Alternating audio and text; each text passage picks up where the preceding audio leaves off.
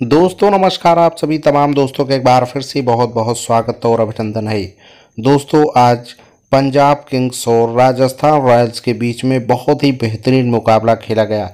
IPL में इस तरह का पहला मुकाबला था, जब हेडपार ने इतना बेहतरीन बैटिंग किया कि देखते ही दर्शकों के रोंगटे खड़े हो गए। दोस्तों, आइए बताते हैं पूरी मैच से संबंधित जानकारी। पंजाब किंग्स ने टॉस जीता जीतने के बाद पहले बैटिंग करने का फैसला लिया था। दोस्तों, पंजाब किंग्स की टीम ने एक सौ सत्तानबे रन बनाए थे, जिसके जवाब में एक सौ अट्ठानबे रन बनाने थे राजस्थान की टीम को। राजस्थान की टीम की तरफ़ से सभी खिलाड़ी आउट हो गए थे, लेकिन उसके बाद बचे सिमरन हेटमायर, जिन्होंने चौके छक्के की बरसात कर दी।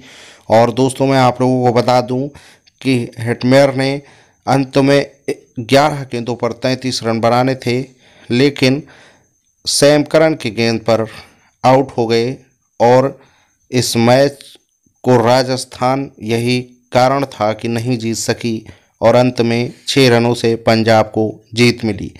वीडियो को लाइक करें और जानकारी जल्द ही आएगी।